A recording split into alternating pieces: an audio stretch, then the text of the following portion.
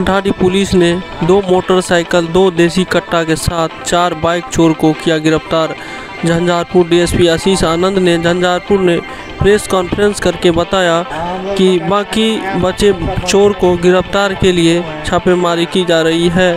अंद्राठाट जोधपुर और बाहुबरी क्षेत्र में हाल के दिनों में बाइक चोर की घटना के बाद पुलिस बाइक चोर को धरपकड़ के लिए लगातार छापेमारी कर रही थी और उन नज़र पर उन पर नज़र रखी हुई थी। इसी बीच पुलिस की गुप्त सूचना मिली कि इस क्षेत्र में बाइक चोर का 10 से 15 की संख्या में एक सक्रिय गिरोह है, जो कि बाइक चोर से लेकर लूटपाट की घटना को अंजाम देते हैं।